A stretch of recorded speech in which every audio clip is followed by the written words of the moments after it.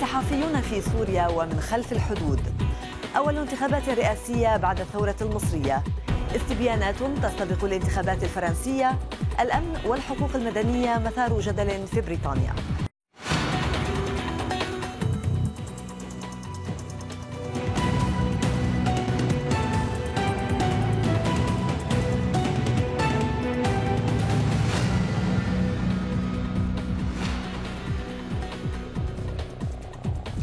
مرحبا بكم. حلقة جديدة من برنامج سبعة أيام. نقدمها لكم من بي بي سي. ضيوفي في هذه الحلقة جهاد الخازن الكاتب والصحفي في الحياة. عبد العزيز الخميس الصحفي في موقع ميدل إيست أونلاين. نبيلة رمضاني الكاتبة والصحفية الفرنسية. وأحلام أكرم الكاتبة والناشطة في حقوق الإنسان. مواضيع عديدة سنناقشها في هذه الحلقة. كانت محط اهتمام الصحف العربية والأجنبية.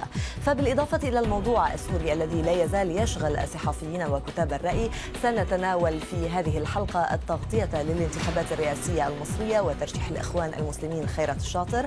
أيضا الانتخابات الرئاسية الفرنسية من زاوية السيل الكثيف لاستطلاعات الرأي. كذلك سنبحث في متابعة الصحف البريطانية لقانون المراقبة خصوصا على المواقع الإلكترونية. لنبدأ نبدأ إذا مع بعض المقتطفات في صحيفة نيويورك تايمز كتب أريانير تحت عنوان محكمة عربية لجرائم الحرب من أجل سوريا في إطار البحث عن طرق أخرى لإجبار الحكومة السورية وشبيحتها على دفع ثمن ذبحهم مواطنيهم تسعى الولايات المتحدة إلى جلبهم للعدالة. محكمة لجرائم الحرب بإدارة الجامعة العربية قد تكون الحل. في صحيفة الحياة كتبت فيرونيك أبو غزالي تحت عنوان مراسلون أجانب على خطوط النار. وإذا كان رئيس اتحاد الصحفيين في سوريا الياس مراد طلب أخيرا من المؤسسات الإعلامية الأجنبية عدم إرسال صحفيها في شكل غير شرعي إلى سوريا بعد مقتل صحفيين أجانب في حي باب عمرو. فهل يمكن مثل هذه المؤسسات التي تحتاج إلى تحقيق سبق إعلامي تزامنا مع إظهار وجهتي نظر المعارضة والنظام أن تلتزم بمثل هذا الطلب؟ إذا مشاهدينا هذه كانت المقتطفات التي اخترناها من الصحف العربية وبعض الصحف الأجنبية. سيد جهاد أبدأ معك. يعني بالرغم من منع السلطات السورية للصحفيين بالعمل في سوريا إلا أن الصحفيين الأجانب اختاروا الذهاب بشكل سري ومعظمهم كان يعني صحفيون فريلانسر أو صحافي حر. لماذا الصحفيون العرب لم يغامروا ويذهبوا بشكل سري إلى سوريا؟ ربما لأننا نعرف الوضع أفضل من الصحفيين الأجانب. يعني جريدتي عندما بدأت الحرب على العراق خيرنا المراسلين أن يذهبوا أو لا يذهبوا كان القرار للمراسل وليس لنا. هو عليه هو في المنطقة يعرف الوضع أفضل منا يعرف إذا كان يتغير. قلنا لهم لا نريد أن يغامر أحدا بحياته. يعني حياة مش لعب الوسطى مقابل هذه. بالنسبة للصحافة الأجنبية هي هناك تنافس الآن حتى قطع الأعناق. الصحافة الغربية في تراجع شديد إعلانات وتوزيع وغيره. فكل واحد يبحث عن سبق صحافي وبعض الصحفيين خصوصا الذين بنوا سمعتهم على المغامرة وعلى تغطية الحروب يريد أن يثبت أنه لا يزال قادرا. ولكن أعتقد أن الحياة حفظ الحياة أهم من الخبر أي خبر. لذلك يجب أن يكون الواجب الأول للصحافي ولرئيسه في العمل. ضمان الحياة قبل ضمان الخبر. كان هناك مغامرون في لبنان من الصحافة الأجنبية وبعضهم دفع الثمن. طبعا هم لا يستطيعون أن يذهبوا عن طريق الحكومة السورية. لأنه ستفرض عليهم أين يذهبون أين لا يذهبون كأنه ما راحوا.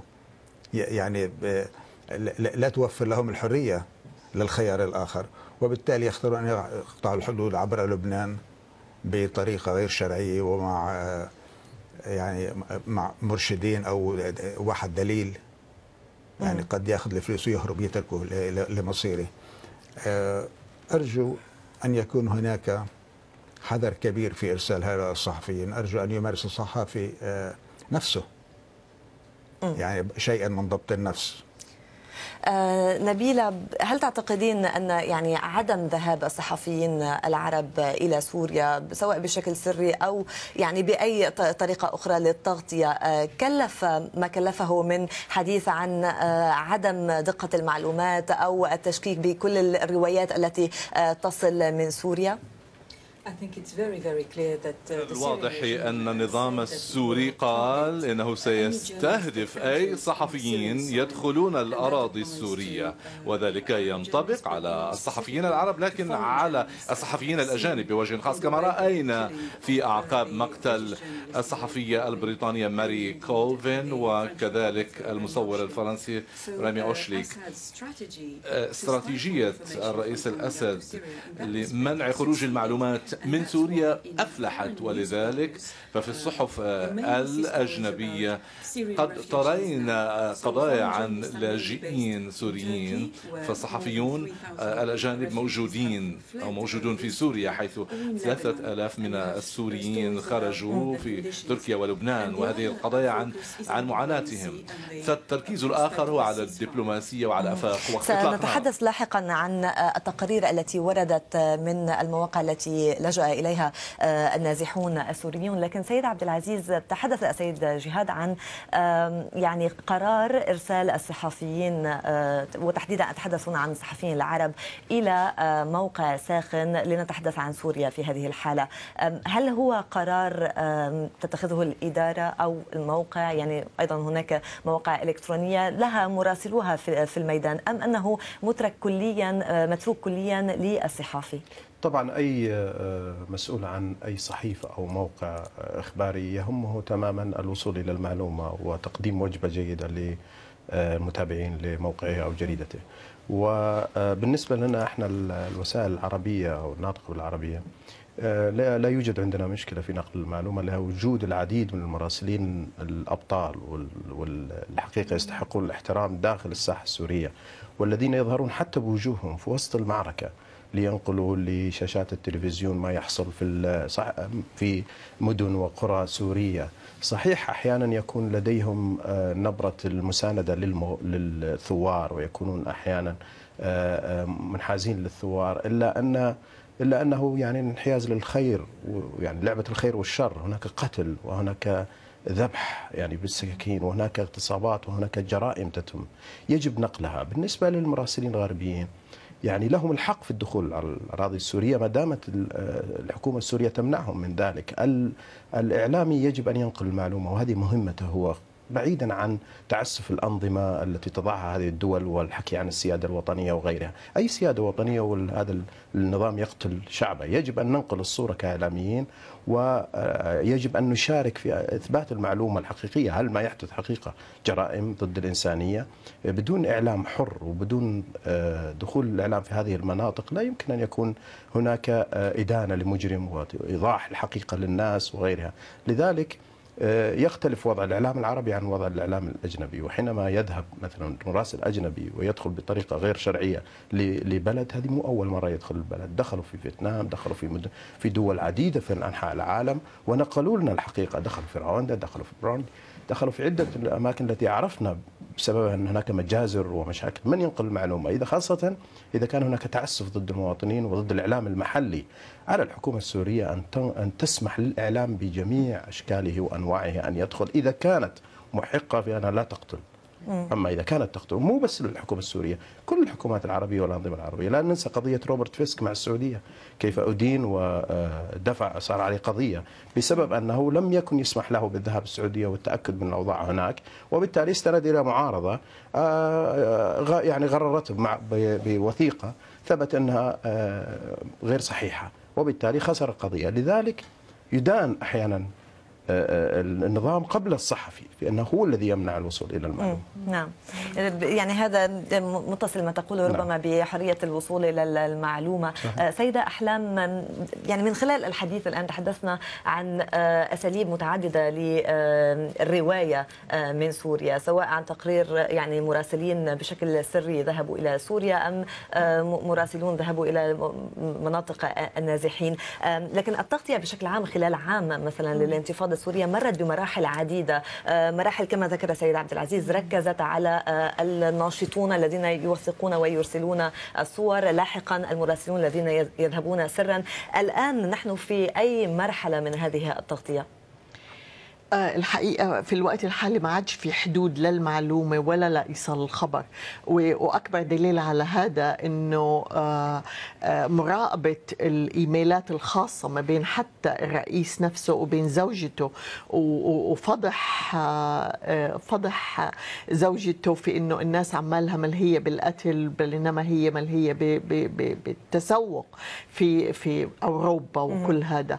فما عادش في حدود. ف يعني مهما حاول النظام إنه يغطي على النظام أو المعارضة. يعني يعني هلأ في الوقت الحالي حتى بالنسبة للمعارضة هناك انتهاكات وعمالهم بيحاولوا يثبتوها لكن للأسف انتهاكات النظام نفسه بحق شعبه فاقت كل تصور بحيث إنه لكن بالعودة لموضوع التغطية بشكل سريع يعني أنت ترين أن الآن أصبح هناك مزيج من وسائل التغطية سواء عبر طبعاً. مراسلين حر أم الناشطين طبعا طبعا المراقبة مراقبة الإنترنت واللي هي وصلت هلأ حتى لأوروبا يعني بحيث إنه قرار الرئيس ساركوزي في الوقت الحالي إنه يراقب إيه، الانترنت للشباب ليشوفوا يحددوا المتطرفين.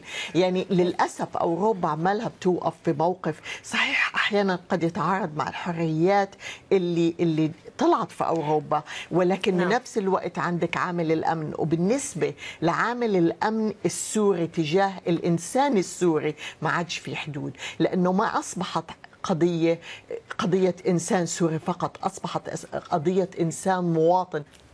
إذا سنتابع آه، مزيد من التفاصيل موضوع التغطية آه، للملف السوري ولكن سنقرأ بعض المقتطفات من آه، الصحف منها من صحيفة دير شبيجل التي نشرت تقريرا أعدته أولريك بوتس من بيروت كتائب الدفن في سوريا. الإعدام الأول كان بمثابة معمودية النار لحسين أصبح الآن عضوا في كتائب حمص للدفن. الرجال وهم قلة يقتلون باسم الثورة السورية يتركون التعذيب لآخرين هؤلاء هم كتيبة الاستجواب هذا التقرير يبدو أنه فتح شهية صحفيين آخرين في لبنان. زياد الزعتري كتب في جريدة الأخبار بدوره يتحدث أبو أحمد القيادي في كتيبة الفاروق عن فرق موت تشكلت للأخذ بالثأر والانتقام من أعداء الدين. يتحدث عن قيامه وبعض رفاقه بذبح الرجال. يكرر قصصا وفظائع سردت بعضا منها صحيفة ديرش بيجل الألمانية في حين ما خفي أعظم. نبيلة لماذا يكتسب الصحافي الأجنبي مصداقية أكثر من الصحافي العربي ولو كانت المصادر ربما نفسها؟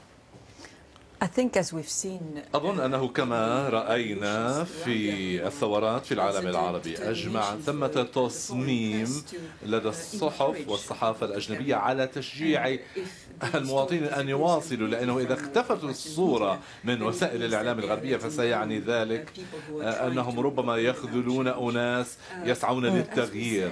لكن كما قلنا من الصعب الحصول على المعلومات من داخل سوريا مثلا.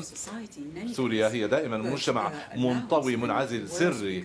آه، لكن ربما كان الأوضاع آه، أسوأ في أماكن أخرى. قضية استهداف الصحفيين وهناك مؤشرات على كثافة الحملة ضدهم آه، من خلال المواطنين الذين يغادرون بأعداد كبيرة. وذلك ربما هو مبرر عدم توقف القصف. سيد جهاد آه، لماذا يعني برأيك هذه التقارير آه، التي تعتمد على روايات بالنهاية المراسل لم يذهب إلى هناك هو آه، يستمع إلى شهادات أشخاص فقط شهادتهم هي المصدر الوحيد. لماذا برأيك رغم ذلك تكتسب مصداقية على الأقل من خلال تداولها؟ يعني مثلا تقرير دير شبيجل ليس جديدا ولكن هذا الأسبوع أعيد التداول به. تصديق الخبر يعتمد على سمعة الجريدة. يعني آه، أنا بالنسبة إلي الواشنطن بوست ونيويورك تايمز آه، ما فيش مجال للخطأ في الأخبار. الخبر صحيح. مشكلتي مع صفحة الرأي لأنه كمواطن عربي أراها صفحة ليكودية. بالنسبة للمراسلين الأجانب يعني تحقيق دير شبيجل على ذمة الراوية السوري اللي ذبح ناس. وأنا لا أصدق إطلاقا. ربما ذبح أكثر من ما قال ربما يذبح ولا واحد قاعد في بيروت بقهوة النشاط وعم بيركب قصص. يعني هي تقول ف- أنه كان في مستشفى في طرابلس. ما في يعني هذه صعب جدا أن نصدق هؤلاء الناس. يعني حتى الصحفي العربي إذا راح على سوريا هو واحد من اثنين. إما مع النظام أو ضد النظام. إذا ضد النظام لن يصل إلى الجبهة ويرى بعينه. إذا كان مع النظام لا يحتاج أن يصل للجبهه لأنه سيأخذ أي شيء تقوله ال- الحكومة كأنه كلام منزل وينشر في جريدته. فبالتالي عندنا هي المشكلة العربية. بالنسبة إلى الأجانب يعني أنا أقمت سنوات عبر الشارع من واشنطن بوست. أي خبر خبر ينزل في يجب أن يتحقق منهم من مصدرين منفصلين أحدهما عن الآخر. مش ليس مصدر واحد فقط. ولكن هذا في أخبارهم لأنهم يحاسبون عليها. إحنا في الخبر السوري الآن هم يجلسون في بيروت. أي واحد جاي من سوريا معارض يكلمونه وطبعا هذا المعارض سيعكس آه، آه، رأيه ورغباته وليس بالضرورة يتكلم الحقيقة. أيضا لو كان مع الحكومة هو يكذب كل ما يفتح تمه وبالتالي علينا إحنا أن نكون يعني حذرين. بالتدقيق والتمحيص. سيد عبد العزيز يعني عندما تقرأ تقريرا مثلا مثل الذي نشرته الأخبار واخترت هذا المقتطف تحديدا الذي يشير بالتقرير إلى آه، يعني يقول تشبه روايات نشرتها صحيفة أو تقرير دير شبيغل إلى أي حد تشكك بأصالة آه، يعني تقرير مثل هذا حينما يستند آه، إلى تقرير آخر من دون أيضا إعطاء تفاصيل ومعطيات تشعر بأنها فعلا يعني سرد أصيل وصحيح؟ طبعا في ال- المستغرب إنه جريدة الأخبار موجودة ببيروت ودير شبيغل موجوده في ألمانيا. يعني المفروض إنه آه، جريدة الأخبار تكون المصدر لدير شبيغل وليس العكس هو يعني ما استشهد تنقلها. يعني ما تنقل ما- فقط للتوضيح هو نعم. استشهد آه، يعني حسب تفاصيل التقرير ذهب إلى آه، أيضا مستشفى في طرابلس تحدث إلى أشخاص ولكنه آه، استند ك يعني مرجع يؤكد وقال بأن هناك آه، روى. قصص نعم, نعم. تشبه القصص التي اشارت إليها تقرير طبعا آه، طبعا آه، آه، في الصحافة ال investigative يعني journalism الصحافه التحقيقات والبحثية أهم شيء يكون موجود هو الاستناد إلى عدة مصادر إضافة إلى وزن القصة ومعرفة بالضبط اتجاه القصة واتجاه وأيضا آه، رغبات المصادر يعني أو أو ميول المصادر. يعني okay ممكن أسمع مصدر غير محايد يعني مع الثوار ولكن أيضا لازم أوزنها بمصدر من النظام. وأيضا أعرف تماما هل هناك محايدين في الساحة اضيفهم كثالث مصدر وبالتالي تنوزن القصة بشكل أفضل. آه، في هذا العصر يعني الكثير من الوسائل الاتصال الحديثة ومواقع الإنترنت زي اليوتيوب وضحت ان نعم. أشياء كثيرة تحدث في الساحة وبالتالي صار من السهل على الصحفي أن يرى يعني كتائب الفاروق اللي ذكرت في هذه لديها الكثير من الفيديوهات داخل موقع يوتيوب ولديها الكثير من الأخبار والبيانات الصحفية يعني ما نحتاج أن إحنا نأكد هي موجودة. لكن هذا يقودنا الوضعية اللي حدثت في العراق. لما كان الصحفي في العراق يتوه ما بين المصادر والمصادر تكون أحيانا جزء منها إيرانية تحاول تعظم من مسألة القاعدة يعني أمريكية غير وهذا ما أشرت عربية. إليه بالنسبة فصراع لموضوع الميول المصادر. قوي جدا. نعم. آه، سنتابع إذا برنامجنا وننتقل إلى الموضوع المصري. آه، إذ ركزت الكتابات في الصحف المصرية خلال هذا الأسبوع على الانتخابات الرئاسية وفي هذا السياق نشرت المصري اليوم مقالة من توقيع حسن حنفي ظاهرة كثرة المرشحين للرئاسة. يقول فيها المواطن المصري العادي كان مهمشا طوال حياته ولا شأن له بالسياسة لم يشارك في أي انتخابات سابقة ويسمع أن نتائجها معروفة قبل إجرائها فجأة سمح له بأن يرشح نفسه لانتخابات الرئاسة. تحديدا كان موضوع ترشيح الإخوان لخيرة الشاطر مسار ردود فعل عديدة برزت في الصحف المصرية وأيضا العربية والأجنبية. ففي صحيفة الدستور الأصلي كتب إبراهيم منصور تحت عنوان عندما يكذب المرشح الرئاسي ويستمر الشيخ حازم في الخداع ليحصل على 100 توكيل من المواطنين لتأييد ترشيحه ويقدمها إلى اللجنة العليا للانتخابات في زفة كبيرة من أنصاره ليغطي على عملته في إخفاء معلوماته عن جنسية والدته. من صحيفة الشرق الأوسط اخترنا ما كتبه حسين شبكشي تحت عنوان الأمير والشاطر. واليوم الشاطر يقدم مثالا جديدا للمكيافيلية لكن استغلاله للمكانة التي وصل إليها الإخوان أكثر مما يجب. والناس لا يحبون استعراض العضلات ولا استعراض القوة ولا التفاخر بالمكانة وهي مسألة مسألة تؤدي للكبر والغرور وهما من أكبر الخطايا قد يكون ثمنهما مكلفا جدا معنويا وسياسيا. من صحيفة نيويورك تايمز المرشح المصري المناهض لأمريكا قد يتعثر بسبب روابط والدته الأمريكية. والدة المرشح الشيخ حازم صلاح أبو إسماعيل أصبحت مواطنة أمريكية قبل وفاتها وفق السجلات العامة لكاليفورنيا وحسب موقع إلكتروني لتسجيل الناخبين في لوس أنجلوس. هذا سيجعل من أبو إسماعيل غير مؤهل لخوض الانتخابات وفق القانون المصري. سيد جهاد اذا آه، يعني قبل أن ندخل بتفاصيل التغطية لموضوع آه، اختيار خيرة الشاطر والجدل الذي آه، تناولته الصحف ما تقييمك لأسلوب تعامل الصحافة المصرية من ناحية تغطية الانتخابات الرئاسية وهي أول انتخابات بعد الثورة وتشهد يعني هذه الوفرة من المرشحين؟ يعني الصحافة المصرية تحاول وهناك حد مساحة جيدة من الحرية. ولكن مثل ما تفضلتي كثرة المرشحين وما فيش خبرة في الموضوع لأن اعتادوا على مرشح واحد رح يربح انتخابات آه، يضيعون معها. طبعا آه، الآن آه، جاء خيرة الشاطر. في أمر مهم جدا. الإخوان المسلمون في مصر يجب أن يفهموا أن دول الخليج القادرة على المساعدة على عداء مع الإخوان المسلمين. نسمع يوما بعد يوم مقال رئيس الأمن في دبي ضاحي خلفان. أنا سمعت أهم من ذلك الأمير نايف بن عبد العزيز وهو الآن ولي العهد. سمعته قبل أن كان ولي العهد هم يعتبرون أن الإخوان المسلمين تآمروا عليهم. أنا أقول التآمر اجى أكثر من الإخوان المسلمين في سوريا. الذين احتضنتهم نعم. السعودية ودول الخليج هذا مت... ولكن تعرف عندهم مشكلة ثم يرشحون طيب عندهم البرلمان وعندهم مجلس الشورى نعم. عندهم رئيس سيد جهاد أنت تتحدث الآن عن اختيار الإخوان لمرشح خيرة الشاطر نعم. ما أريد التركيز عليه هو موضوع آه، الصحف المصرية كيف تتابع آه، التغطية المصرية يعني للانتخابات تحديدا الانتخابات الرئاسية أنا, أنا أقرأ الصحف المصرية يوميا وتحديدا الأهرام لأننا متوفره عندنا بلندن وهي أمامي هنا أعتقد أن التغطية جيدة، التغطية عامة وهناك يعني صحف تؤيد هذا المرشح أو ذاك، ما في مرشح من دون صحيفة بتأيده. م. الصحف الخاصة في مصر في كل يوم حوالي 10 12 جريدة، لم تعد آه، الصحافة محصورة بالصحف القومية، ولا أعتقد أن الصحف القومية توزع م. كما كانت في السابق مليون نسخة أو 500 ألف نسخة، وإنما التوزيع أيضا متوازن بين هذه الصحف. و المشكلة أعتقد مع العذر هي مع بعض المرشحين وليست مع الصحافة لأنه كل يوم برأي يكذبون يعني مثل مرشح السلفيين. م. آه لا هذا اللي كتب نيويورك تايمز هدول كذب عليه كيف كذب عليك؟ لا مستحيل يكون كذب.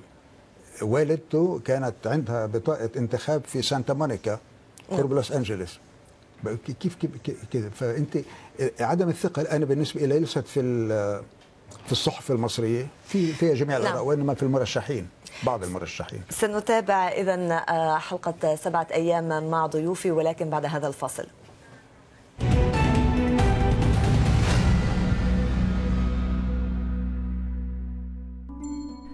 بي بي سي اكسترا مكان رائع يعني أكثر مكان ربما يتيح لي أن أتواصل مع الناس أن أصل للناس بسرعة وأن يصل الناس إلي بسرعة. فرصتكم اليومية للتعبير عن همومكم. هو تواصل حر بيننا وبين المستمعين.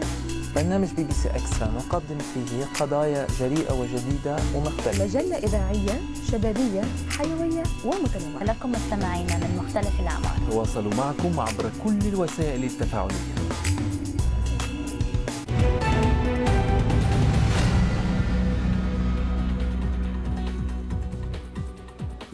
إذا نتابع حلقة سبعة أيام. كنا نتحدث قبل الفاصل عن التغطية آه، تغطية الصحف للانتخابات الرئاسية المصرية. سيدة أحلام كان سيد جهاد يتحدث عن وفرة آه، وسائل الإعلام في مصر لا سيما بعد الثورة يعني أنشئت صحف عديدة وتلفزيونات وغيره. كيف ترين يعني التغطية سواء من قبل وسائل الإعلام العامة المواقع الإلكترونية غيره هل هناك آه، احترام لمعيار آه، ديمقراطية التغطية أو نزاهة التغطية لأنه عادة في المجتمعات الديمقراطية يعتبر كيفية تغطية الإعلام أو قانون الإعلام أساسي في هذا الموضوع. أنا رح أروح لنقطة ثانية كوني آه، كوني ببحث بالحقوق بالذات آه، مع آه، مع إني يعني توجهاتي هي ضد اللي عماله بيصير في مصر بعموما يعني صعود الإسلاميين وال- والدخول بكل هاي المتاهات. اللي أهم من هذا برأيي إنه هذا المرشح بالذات يعني آه، أمه أمريكية تحصل عندها الجنسية الأمريكية أو لا هذا انتهاك لحقوق المرأة. وبعدين هو هو مصري. okay؟ يعني في العالم الغربي عندك آه، هنري كيسنجر هنري كيسنجر ما قدرش يترشح لانتخابات الرئاسة الأمريكية مش علشان إمه علشان هو مولود برا. لكن ما سألوش عن إمه شو حاملة أنهي جنسية. يعني في الوقت اللي اللي العالم عماله بي بيتخطى هاي الحدود بموضوع الحقوق alright بيجي بالع- بالعالم العربي وبتلاقي المرأة محرومة من إنها ولكن ب- ب- حمل يتعلق بقانون الترشح. أنا أتحدث عن الترشح- آه، التغطية الإعلامية وقانون الإعلام في التغطية الانتخابات. التغطية الإعلامية بالتأكيد صار فيها تصعيد رهيب وما وما وما فيش معيار ما عادش في معايير محددة في الوقت الحال الحالي. لأنه زي ما بيقولوا اختلط الحابل بالنابل وصارت آه، حاجات شخصية. بعدين ترشيح ال ال الإسلاميين على آخر دقيقة لشخص ثاني لخيرة الشاطر. يعني هناك تخبط في في الساحة المصرية. تخبط فكرة تخبط ديمقراطي تخبط المرجعيات اللي بدهم يحطوها في الدستور. نفسه عارفة؟ بما أدى إلى انسحاب حتى الأزهر من لج من لجنة صياغة الدستور. يعني في حاجات كله انعكس القبطية على آه، طبعا بينعكس على ذهنية المواطن البسيط اللي ما بيتابعش كل هاي الأمور. بحيث إنه بيعطي فرص لناس هل هم أهل للترشح أم لا؟ عم تخلقي عم تخلقي ذبذبه وتخبط في إيه، توصيل معلومة بسيطة للناخب البسيط. فبدك تطلع عن كل هاي الأمور. إيه، المع- المعايير الديمقراطية كلها تلخبطت. You know. عم بفسروها وبعيدوا تفسيرها. يعني مش قادره مش قادره سيد عبد العزيز هل تابعت الصحف الأمريكية كيف يعني تناولت موضوع ترشيح خيرة الشاطر وترشيح أبو إسماعيل وقضية جنسية والدته؟ يعني كان هناك اهتمام في الصحف الأمريكية بهذا الموضوع. بالطبع طبعا الصحف الأمريكية هي, هي التي ساعدت في إثبات إنه أم مرشح السلفي أمريكية أو لديها جنسية أمريكية، المضحك في الأمر إنه التغطية الإخبارية لا في مصر وفي العالم العربي ولا حتى في الولايات المتحدة أخذت جانب كوميدي إنه أصبح صراع الأقارب وأزمة أقارب، يعني للمثل في مصر طلع عمرو موسى طلعوا عليه في واحدة من الصحف إنه آه، آه، شقيقة يهودي. آه، أبو الفتوح إنه جوازه مع جواز قطري. عم آه، آه، أبو إسماعيل أمة أمريكية واخته أمري... اخته كندية. آه، ما أدري من بعد ما حيبقى إلا سعد الصغير. الفنان سعد الصغير هو اللي ما عنده ولكن هل ترى أن هذه كانت يعني مادة دسمة كوميدية. لتناول الصحف المصرية؟ ولكن ماذا عن الصحف الأمريكية يعني؟ الصح... الصحف الأمريكية كما قلت لك ساعدوا في إثبات هذا لكنهم هم كانوا حاطين عينهم على أو عينهم على الشاطر أكثر. بالترافق مع الحملة ال PR حملة العلاقات العامة اللي عملوها الأخوان في آه، الولايات المتحدة. ووضح التعاطي العربي مع هذا مع التعاطي ال- يعني شافوا شلون التغطية الإخبارية الغربية للموضوع الأخوان ومحاولتهم استمالات الولايات المتحدة. ما ما شاهدت أنا في الإعلام العربي من ركز على أنه الآن أصبحت أمريكا جميلة وطيبة وصديقة عند الأخوان.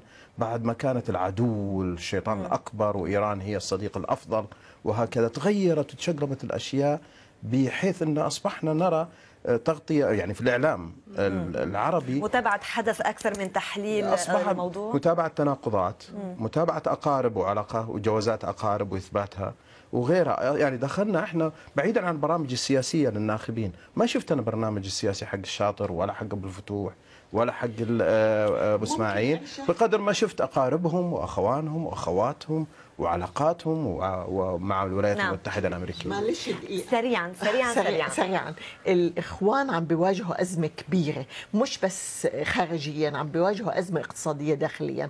وهم بحاجة يعني لقروض فممكن تكون الحملة الإعلامية للعالم الخارجي هي حملة ل- لبحثهم على أعطائهم قروض لأنه هم بحاجة ل 1.3 بليون دولار إذا نتابع الفقرة التالية وهي جولة على الصحف والمواقع الفرنسية التي أفردت صفحات خاصة لمتابعة مجريات الحملات الانتخابية للمرشحين ومعظمها خصص حيزا كبيرا لاستطلاعات الرأي. موقع أوبينيون واي نشر في صفحة أوبينيون لاب أو مختبر الرأي رسما بيانيا لاستطلاع رأي شمل نحو ألف فرنسي ويوضح نواياهم الانتخابية التي تتجه بشكل أساسي إلى الرئيس الحالي ثم لمنافسه فرانسوا هولاند ومن ثم إلى مارين لوبين صحيفة لو باريزيان نشرت بدورها استطلاعا للرأي تحت عنوان حصريا استطلاع هولاند 56% ساركوزي 44% فرانسوا هولاند يتفوق بشكل كبير في الجولة الثانية على الرئيس المنتهية ولايته.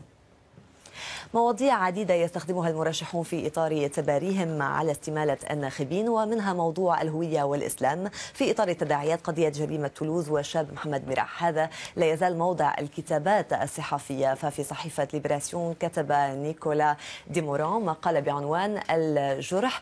منذ عشر سنوات لدى الجمهورية مشكلة مع الإسلام مع أبنائها من الثقافة أو الطائفة الإسلامية. لدينا كلنا الجنسية نفسها وبطاقة الهوية نفسها وكذلك جواز السفر نفسه. الحقوق والواجبات نفسها. اشتباه يستخدم بشكل منهجي خلال المرحلة الانتخابية في آلية الوصم. نبيلة أبدأ معك. هل لاحظت أن هناك كمية كبيرة من استطلاعات الرأي التي بدأت تنشر في هذه الآونة مقارنة ربما مع الانتخابات السابقة؟ يعني أكثر بكثير من تلك السابقة؟ I think there has been a battle of the يتعلق الأمر بمعركة استطلاعات الرأي خاصة بعد مأساة أعمال القتل في تولوز ومساعي الرئيس ساركوزي اليائسة لأن يقدم نفسه رئيسا لدولة القانون والأمن. رئيس قادر على التعامل مع هذه الأزمة وهو حاول ما أمكنه أن يستفيد من هذه الأزمة ويستعيد مكانته في استطلاعات الرأي وقد كان يصارع وأصبح ربما أقل الرؤساء شعبية في تاريخ الجمهورية الخامسة. ومأساة تولوز كانت مناسبة للرئيس. وما هو ملاحظ أنه موقعه انتعش قليلا في استطلاعات الرأي بعد إطلاق النار في تولوز لكن على نحو مسترسل بعد الأيام التالية. فقد تعافى في الجولة الثانية حيث كان متخلفا على فرانسوا هولاند ولكنه في الجولة الأولى فإن خصمه فرانسوا هولاند متقدم عليه قليلا. استراتيجية الأمن والنظام لم تجده كثيرا. سيد جهاد هل تعتقد أن الصحافة الفرنسية يعني من خلال انتقائها لاستطلاعات الرأي أو نشرها استطلاعات معينة هي فعلا عادلة وديمقراطية أم أنها ربما مثل ما نشهد أيضا يعني لأنه في حالة الانتخابات فمشابه لما نشهده في العالم العربي انتقائية وتلاعب ما. أنت سالتي جاوبتي لا بدي أشوف ملاحظتك. بعضها بعضها حتما موضوعي ويريد أن يعرف الحقيقة ولكن كثير منها ملتزم بمرشحه ويريد أن يروج له. أعتقد أن كل اصلاعات استطلاعات في النهاية مثل ما قلت في في المقدمة فرانسوا هولاند وساركوزي تقريبا مثل بعض واحد متقدم على الثاني بنقطة واحدة ولكن فيه هو حد الخطأ قد يكون نقطتين أو ثلاثة أو أربعة، آخر استطلاع قرأته كان 29 ل 30 بينهم. آه وبعدين في المرشحين الآخرين، لكن آه مثل ما قالت نبيلة حتما في الدورة التالي الثانية في أيار مايو آه المرشح الاشتراكي متقدم في كل الاستطلاعات التي أنا رأيتها وهي الأهم. لأن لا أعتقد أن انتخابات 22 هذا الشهر ستحسم الانتخابات. ففي عندما يحسم الامر بين مرشحين اثنين سيكون المرشح الاشتراكي متقدما. هذا ما رأيت في كل استطلاع تابعته نعم. أنا شخصيا. سيدة أحلام يعني بالإشارة إلى هذه استطلاعات الرأي ومنها كما ذكر سيد جهاد تشير إلى أن هناك ربما تفوق لهولند في الجولة الثانية. هذه الاستطلاعات إلى أي درجة هي فعلا تسير الناخب من خلال التركيز مثلا على نتائج معينة؟ يعني بدل استطلاع نوايا الناخب هي فعلا توجه الناخب نحو نية ما. ما أظنش. العامل إيه، شوفي إيه، كل المرشحين حيستغلوا ويستثمروا في عملية تولوز ولكن بيرجع بالآخر ال ال ال ال القرار الحاسم للناخب. الناخب الفرنسي مش مثل الناخب بالدول الغير متقدمة. إيه، الناخب الفرنسي بالآخر حيحسبها اقتصاديا. فيما إذا كانت بتناسب جيبته ومصاريفه ودفعه للضرائب أو ما بتناسبش. فالمرشح اللي اللي ممكن حقيقي ينجح في في في الانتخابات حيحسبها الناخب الفرنسي بأولوية الأمن بغض النظر عن أولوية الأمن ثم الاقتصاد. وما بتقدريش تفرقي ما بين آه، هدول هدول العاملين لأنه الع... ال... الأمن حيكلف الناخب الفرنسي أكثر بما وإضافة إلى عبء هدول المهاجرين على الناخب الفرنسي اقتصاديا فحيساند أي رئيس حيوقف تماما ضد آه، هاي هذا التطرف بشكل عملي وبشكل معقول نعم. وبشكل محجم بحيث يخفف من النفقات بكل أشكالها. سيد آه، عبد العزيز هل أنت توافق يعني سيد أحلام بأن الأجندة السياسية هي التي آه، تفرض نفسها على متابعة الصحف الفرنسية للانتخابات الرئاسية أم أن آه، وسائل الإعلام الفرنسية تلعب دورا أساسيا في تسيير مجريات الحملات الانتخابية على الأقل من خلال كما ذكرنا مثلا النشر الكثيف لاستطلاعات الرأي؟ نعم للإعلام الفرنسي يساهم كثيرا في توضيح ال- البرامج الانتخابية للمرشحين يحاول يسلط الضوء على القضايا المهمة. أنا يمكن آه، ماني متخصص في الإعلام الفرنسي ولكني لاحظت الأسبوع الماضي كيف الإعلام البريطاني مم. ركز على فرنسا والإيكونومست ويعني خصصوا غلاف كامل عن القضية الفرنسية وملف. آه، ولاحظت أيضا أنه الهم الاقتصادي والتحذير من الأزمة المقبلة لفرنسا اقتصاديا وحتى وصلوا إلى درجة التشبيه بوضع اليونان. يعني وهذا كان في شوية كثير مبالغة في. رأيي. آه، أعتقد إنه المواطن الفرنسي آه، زي ما قالت أحلام هو اللي يهمه الاقتصاد أكثر. وأنا في رأيي بزوغ أو إخراج مسألة الأمن حتى يلفت نظر المرشحين لأهمية ساركوزي وقوته أيام ما كان وزير. الداخليه وحتى بعد تشكيك الإعلام العربي في مسألة آه، قضية ال- الارهابي اللي قتل اليهود. يعني كأنه نظرية المؤامره حضرت عند الإعلام العربي. نظرية الاقتصاد وحضرت عند الإعلام ال- البريطاني. آه، الإعلام الفرنسي أكون يعني مبالغ إذا قلت إني أنا كنت متابع دقيق له. شكرا يعني على على العموم مداخلتك بموضوع التغطية في الصحف البريطانية أظن إنها كانت مفيدة. نتابع أيضا من حيث أه، سيد عبد العزيز انتهى موضوع أه، في بريطانيا وقانون المراقبة أه، الذي يثير الجدل واهتمت به الصحف البريطانية بطبيعة الحال. أه، نقرأ هذه المقتطفات بداية مع صحيفة الجارديان كتب هنري بورتر تحت عنوان محاكم سرية ورقابة شاملة. هل ستأتي ساعة تراقب فيها السلطات اتصالات المحتجين على سياساتها يعطي نظام الرقابة المقترح الحق للسلطات باشتباه الجميع وبالتستر وراء قانون يسمح لها بإخفاء مظالمها من خلال محاكمات سرية. ومن صحيفة ديلي تيليغراف نختار بعضا مما كتبه توم تشيفرز تحت عنوان قانون المراقبة غبي ومناف للحرية. يقول إن نسبة تعرض الإنسان العادي في بريطانيا للقتل من قبل الدبابير هي أكبر بأربع مرات من نسبة تعرضه لعمل إرهابي. ولكن بغض النظر عن ذلك فإن القانون سيء لأنه يتجاهل أن الإنسان في النظام الديمقراطي بريء حتى إثبات العكس. في ايفنينج ستاندرد كتب ماثيو دانكونا على الحكومة المحافظة على موقفها في موضوع قانون المراقبة الهدف من هذا الاقتراح. ليس الحد من حرياتنا كما يصور البعض بل تمكين القيمين على أمننا لتخطي العواقب التكنولوجية التي قد تحد من قدرتهم على القيام بمهامهم. سيد جهاد من خلال قراءتك للصحف البريطانية هل آه، يعني كان هناك اهتمام بمتابعة آه، الزاوية الأمنية آه، يعني تغطية قانون المراقبة أم زاوية الحريات؟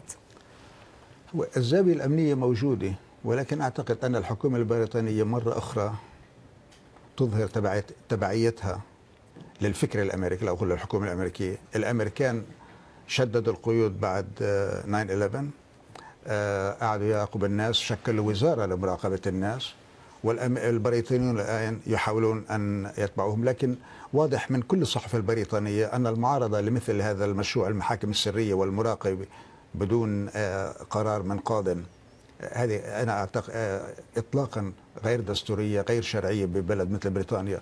إحنا عندنا هون أم البرلمانات ولا يجوز أن يتصرفوا ك كدولة عربية. سيدة ف... نبيلة هل يعني معها حق إذا جاز التعبير الصحف البريطانية أن تمزج آه، في تغطيتها لموضوع قانون المراقبة آه، الموضوع الأمني بموضوع الحريات؟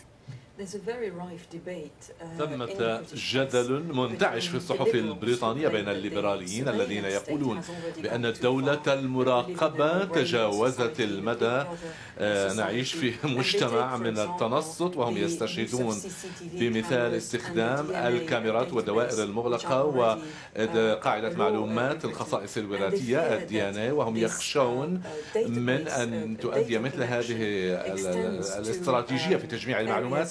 أن تمتد إلى مجالات من قبيل المكالمات الهاتفية والبريد الإلكتروني. وطبعا هؤلاء الذين يحبذون سياسات الحكومة يقولون إن هذه الاستراتيجية مفيدة من في مجالات مكافحة الإرهاب والأخطار الأمنية. ولذلك الجدل لا يتوقف. وهم أيضا يحذرون من انتهاكات في انتهاكات لهذه قواعد المعلومات. فقد رأينا مجالس بلدية تستخدم هذه المعلومات الخاصة في تهديد أناس بشأن قضايا من قبيل آه، رمي القمامة. ثمة جدل عن الخيط الرفيع الذي يحقق التوازن بين ضمان الأمن القومي وحماية الحرية المدنية. سيدة أحلام يعني كونك ناشطة في مجال حقوق الإنسان برأيك وأيضا كاتبة آه، برأيك كيف سيتأثر آه، الصحفيون آه، بقانون المراقبة هذا؟ يعني عملهم لا سيما من يعملون في الصحافة الاستقصائية. إن كان هناك قيود على مصادر معلوماتهم على قدرة حركتهم لجلب المعلومة يعني. ما أظنش أنه حتوصل للصحفيين وجلب المعلومة. هناك حوار مفتوح على آخره. بال بمراكز البحوث اللي هنا. كيف تحمل التوازن؟ والدليل على هذا إنه الايفنينج ستاندرد عملت قبل ثلاث أربع سنين debate حول التضحية بحرية التعبير أم التضحية بهدول الم... يعني المتطرفين بشكل أو بآخر وكسبت حرية التعبير. الشكل الثاني اللي صار عندك يعني مسرحية عملوها مؤخرا بالمسرح القومي تحت عنوان كان we talk about this هل نستطيع التحدث بهذا؟ بتحاول توصل صوتها صحيح بلهجة قوية لل للمسلمين اللي موجودين هون على باعتراف إنه هم المعتدلين هم الأغلبية مش المتطرفين. فبتحاول توصل صوتها إنه ساعدونا حتى نحافظ على هاي الحريات لأنه هذا المتطرف عم بيسيء لإلي ولإلك ولحرياتنا اللي إحنا قمنا عليها. الحوار مفتوح والنقاش مفتوح. أخذ الحكومة مثل هذا العمل بالآخر حيتقبلوا البريطاني. في حالة ما لو طلع له إرهابي آخر مثل اللي طلع بتولوز أو بمكان تاني المشكلة أنه المسلمين المعتدلين والأصوات المعتدلة مش عمالها بتطلع بنفس مستوى الصوت العالي اللي بيطلع فيه المتطرفين سيد. عبد العزيز بشكل سريع كنت ذكرت عن مقارنة آه، بتغطية الصحف البريطانية والصحف الفرنسية بما يتعلق آه، يعني بالانتخابات آه، فقط هذه المقارنة بما يتعلق أيضا بكيفية تعامل آه، ساركوزي مع قانون المراقبة بعد قضية تولوز وطريقه تعاطي الحكومة مع آه، قانون المراقبة الآن. والله أنا اسمحي لي أنا آه، أحاول أقارن بين تعاطي الإعلام العربي باللي حدث هنا في بريطانيا من محاولة للتضييق على الحريات لأني أكثر دراية عن الموضوع. أنا في رأيي ان الإعلام العربي خاصة الإعلام الموالي للأنظمة احتفل كثير بالأنظمة أو بمشاريع الأنظمة التي اللي يتكلموا عنها البريطانيين. لأنهم يرون فيها أنها تعزيز لأن الأنظمة يجب أن تراقب وأن تقمع وأن وأن تسلط أجهزتها على المواطن وخاصة على الإعلام آه، وأن تكون موجودة. وبالتالي كانت احتفالية آه، رائعة من الإعلام إعلام الأنظمة العربية. سننتقل إذا سويا لاستعراض بعض ما نشرته الصحف من رسوم كاريكاتورية الرسم الأول نراه من صحيفة ليبرتي الجزائرية. يظهر الرسم قرشا في أعماق البحر. أعلى الرسم عبارة مفادها منفذ جريمة تولوز دفن في فرنسا والقرش يقول للأسف. فنبيلة هل يذكرك هذا الرسم بأمر ما؟ ليس واضحا. ما هي الرسالة؟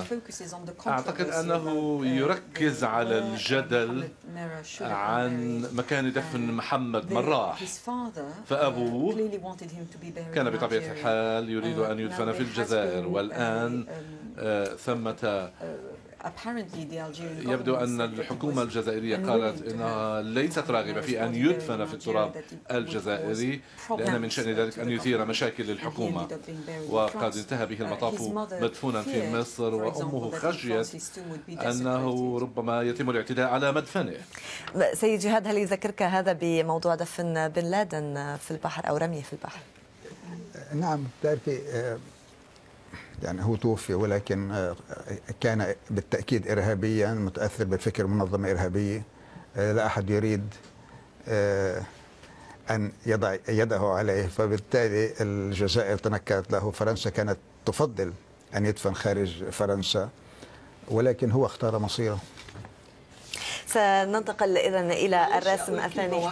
تفضل I think القرش عماله بيقول يا خسارة راحت علي وجبة ثقيله إذا هناك جانب ربما مرح في هذا الرسم. الرسم الثاني اخترناه من صحيفة القدس. فيه نرى رجلا يحمل صندوق مجلس الشعب وصندوق صياغة الدستور ويرفع صورة خيرة الشاطر وعليها كلمة انتخبوا رجل آخر يشير إليه قائلا ما يقع إلا الشاطر. سيد عبد العزيز يعني أنا ما أشوف أنه وقع الشاطر. بالعكس الشاطر لن يقع. يعني الشاطر شاطر خاصة إذا كان إخواني. لأنه الاخوان الإخوان دائما شطار في في التلون وفي التنقل وفي وفي البروباغندا. المسألة هي مسألة بس أنا مع حق الشاطر في إنه يرشح نفسه. هو مواطن مصري ومن حقه يرشح نفسه. ليش الإعلام العربي خاصة الإعلام المصري واقف ضده؟ لأنهم يقولوا ما يبغون الإخوان يحتكرون الشورى. والبرلمان وكذا. من حقهم يحتكرون ما دام الشعب نبيلة, نبيلة لديها تعليق سريع. قبل ان ننتقل إلى الرسم التالي uh, مقارنات غير عادلة بين الإخوان المسلمين والحزب الوطني الديمقراطي لمبارك. قائلين إنه الإخوان المسلمين موجودون بأغلبية في في في البرلمان وفي لجنة صياغة الدستور وإنهم فازوا بالرئاسيات. فسنعود إلى وضع مبارك. وهذا ليس عادلا. هؤلاء أناس انتخبوا ديمقراطيا. بعتقد بعتقد بسرعة. أنه إضافة لحقه بالترشح وكل هذا إلا أنه الوزن الحمل ثقيل على أي واحد أنه يقدر يحملها حتى لو تلون وتغير كل هذا. ننتقل إذا إلى الرسم التالي في صحيفة الحياة. آه، يتناول هذا الرسم آه، الموضوع السوري وخطة عنان تحديدا الدبابات تقصف من خلف الموفد الدولي. أما هو فينظر إلى ساعته. سيد جهاد كيف قرأت هذا أو تعاملت مع هذا الرسم؟ يعني سنعرف إذا كان هذا الكاريكاتير صادقا في 12 من هذا الشهر عندما أعلن كوفي عنان أنه سيكون موعد وقف إطلاق النار. هل يتوقف إطلاق النار أو لا يتوقف؟ هو يعني الرسام الكاريكاتير كأنه آه، كوفي أنان ينظر بالاتجاه المعاكس ولا يرى ما يحدث. أعتقد أنه يرى ما يحدث ولكن سنرى خلال يومين ثلاثة. نعم. وأعتقد أيضا أنه حيغير بطارية ساعته قبل ما ينتهوا من القتل. فلنرى إذا كما قال سيد جهاد لمنتصف هذا الشهر من صحيفة الجارديان البريطانية آه، اخترنا هذا الرسم في قاع البحر ديفيد كاميرون ونيكي كليغ. آه، كما نرى أحدهما يحمل أكثر من مذياع والآخر يضع سماعات آه، على أذنيه. أعلى الرسم عبارة تقول تعلمون أننا لا نريد الاستماع إلى محادثاتكم لكن لكن إذا أردنا فعل ذلك فإن ليس لدينا لا الرجال ولا القدرة ولا المال على فعل ذلك. سأترك لكم الحرية. من يريد أن يبدأ في التعليق على هذا الرسم؟ سأوجه إذا لك يعني سيد أنا موافق. هو هناك نقص في المال وفي الخبرة وهناك خلافات في الحكومة الائتلافية عندهم مشاكل. لدرجة أن قرأت عنوان أنه فوز فرانسوا هولاند سيعود بكارثة اقتصادية على بريطانيا. قرأت ولم أفهم لماذا يعود فوز فرانسوا بكثير هم يبحثون عن أعذار. وأعتقد يمكن بعتقد انها سريعا. بعتقد انها بتعبر على سقوط يعني غارة حزب المحافظين حتى بائتلافه شوي شوي لأنه في قاع البحر. والمشكلة الوحيدة إنه no money ما فيش فلوس عم بيحاولوا بزودوا بزودوا كل يعني whatever عم بيزيد أسعار كل شيء وعم نعم. بيغرقوا. هي مربوطة بالجيش البريطاني وتمويل ال- الآلة العسكرية البريطانية وأنه حكومة المحافظين قاعدة تقلص الآن في ال- الدعم لهذه. وبالتالي الكاريكاتير على أنه آه، يعني أنه خلاص نسونا نعم. ما في شيء المشكلة هي أنه فولكلاند جزر فولكلاند قضيتها حتكبر يوم ورا يوم فبالتالي جيد بريطانيا أن كل هذه المعطيات والمعلومات هي فقط تحليل لرسم واحد آه، كما هي العادة آه، الفقرة آه، التي نختم بها برنامجنا. ما الذي آه، يعني لم نتمكن من تغطيته أو آه، آه، أغفلناه؟ أبدأ معك سيدة رمضاني.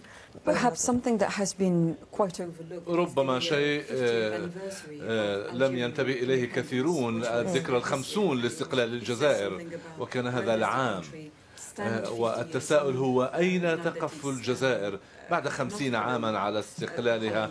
وهي آه، ليست مستعمرة. آه، العلاقات الجزائرية مع فرنسا مثلا أين موقعها؟ سيد جهاد سريعا. سريعا. سريعا أقول ليبيا لكن إذا عندي 30 موضوع الاشتباكات. نعم. سيد عبد العزيز.